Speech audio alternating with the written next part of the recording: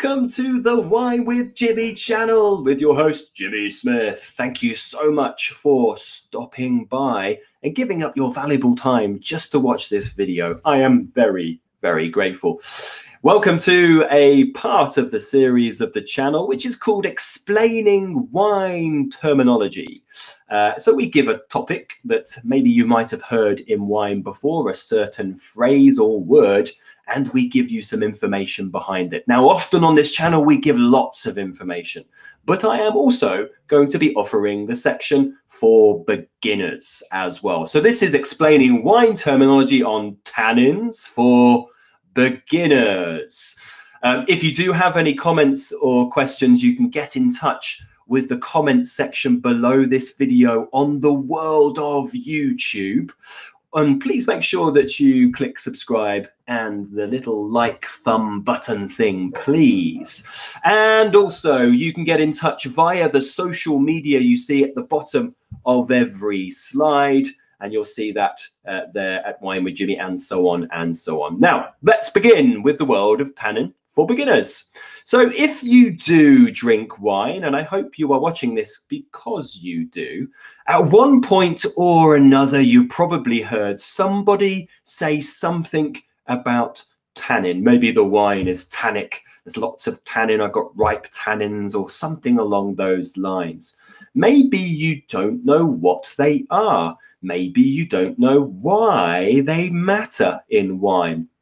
So while knowing this terminology and having all the information behind it might not necessarily be essential to your consumption of wine, it can actually give you some real key bits of information around maybe wine styles you do or don't like. So it's quite important just to learn a little bit about it if you are a bit of a wine drinker. And also um, a little bit of health as well, and potentially why we get headaches and why we don't. Tannins may or may not be linked to that. So I will cross that bridge at the end of this presentation. Okay, so let's go on to the next slide. So first of all, what are tannins? So tannins are actually um, formed by uh, plants. Now, they are kind of like a defense system for plants and certain fruits that plants will produce. And it really is against defending against things like uh, microbial attacks, so things that are in the air, funguses, and so on, but also really animals and birds. Um, so this tannin is produced by plants in things like oak bark, if you'll see here, oak powder will have it there for as well, grape seeds, and also grape skins. And they are produced so the plant really has a defense system. Maybe the bird will start to sort of gnaw at the, the bark and it's too tannic and they don't like it. Grape seeds, which contain all the DNA for that grape potentially to spread its seed, um, that needs to be protected. So that has tannin. Grape skins, which are the outside of the grape that protects everything inside it, full of tannin potentially. Another thing to protect it against predators like birds, for instance. So really, it's one of plant defense. Now, these tannins can be released from things like the grapes that we use for wine in the production of the wine. And certain grapes will have higher amounts of these tannins, things like Cabernet Sauvignon, for, uh, for, for example, which produce a very, very tannic sensation in the mouth, which we're about to talk through very shortly. So we know what they are in really the world, in nature. Where do they come from in terms of wine? Well, they come from the grape, and you'll see a kind of partially peeled grape just here. The three S's are where we find tannins. So stems, skins, and seeds, sometimes in English called pips, which is very English. But stems, skins, and seeds will all find amounts of tannins. And classically, the most we find for most wine is found in its skins. Okay, but all of this, then, if you think about the plant defense, is really so that the bird or whatever animal it may be can't get to the grape. So it's like a security system at that point.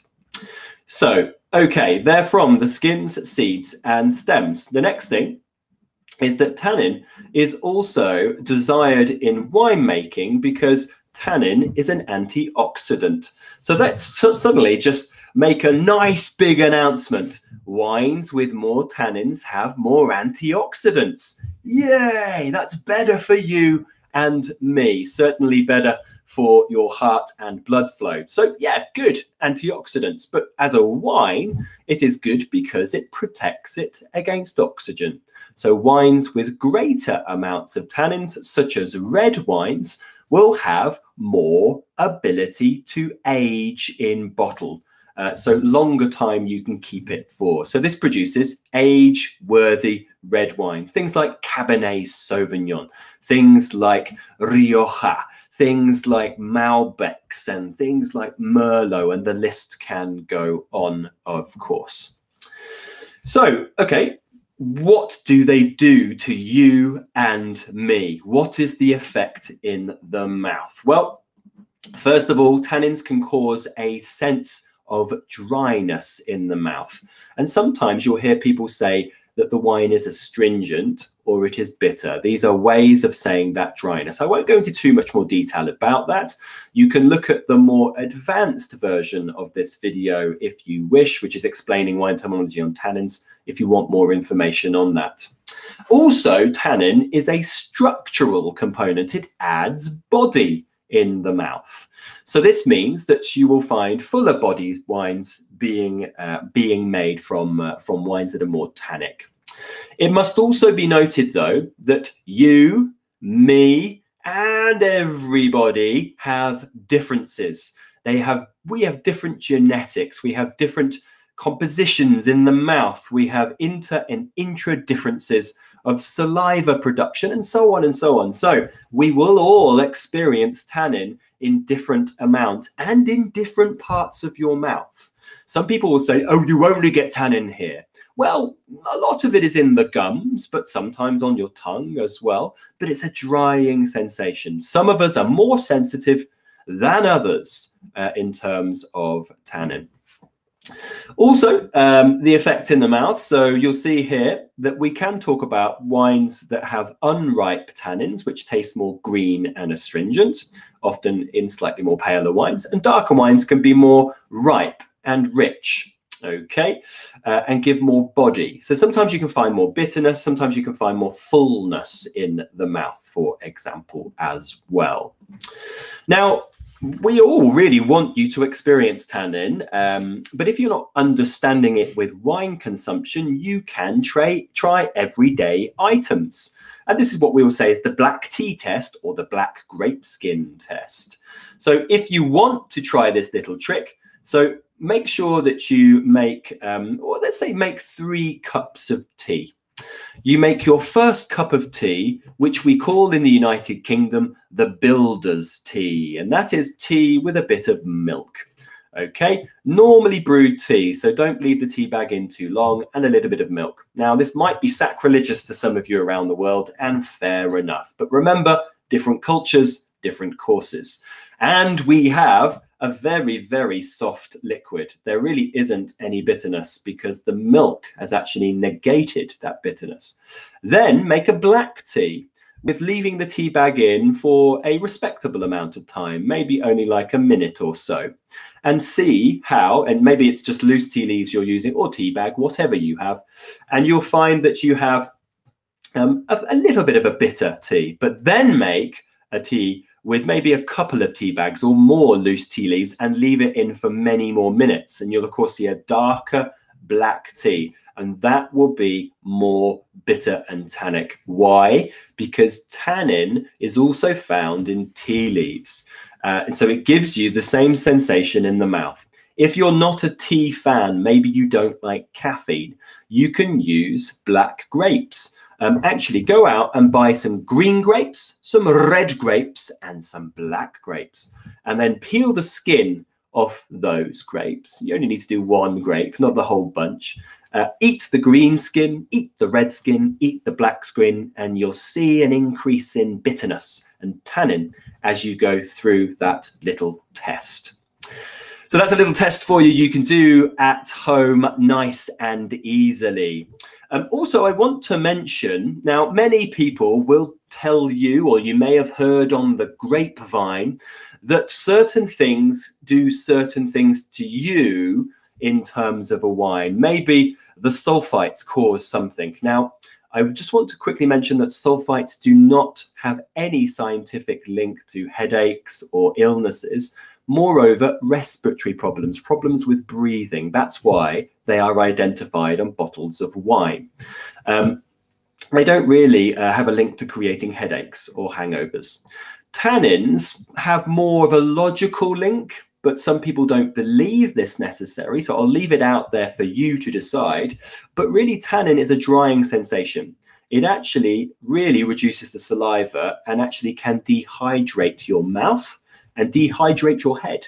And this is what can cause a bit more of a, a sore head in the morning. So potentially, more tannic wines can create a bit more dehydration, which may be an issue. A way around this is to drink water, really to hydrate you through the process. Wine, water, wine, water, wine, water. That's the way forward. Okay, so that's my introduction done on tannins for you, the beginners. I hope you found this nice and useful. If you require a bit more, a bit more information to sink your teeth into, then go to the full version of this video on tannin. And please have a look if you are interested in learning more about professional courses, or maybe you're studying professional courses. Take a look at my e-learning portal. That's winewithjimmy.com, where you can find a huge volume of resource to help you through wine knowledge and qualifications to give you the confidence to ace your examinations, WSET, things like that as well. Okay, well, thank you so much. Remember to comment, remember to like as well. And if you do find yourself in London, please, I have wine schools and a wine bar. So come and see me for a class a glass or a bottle. I've been Jimmy Smith. See you soon. Bye.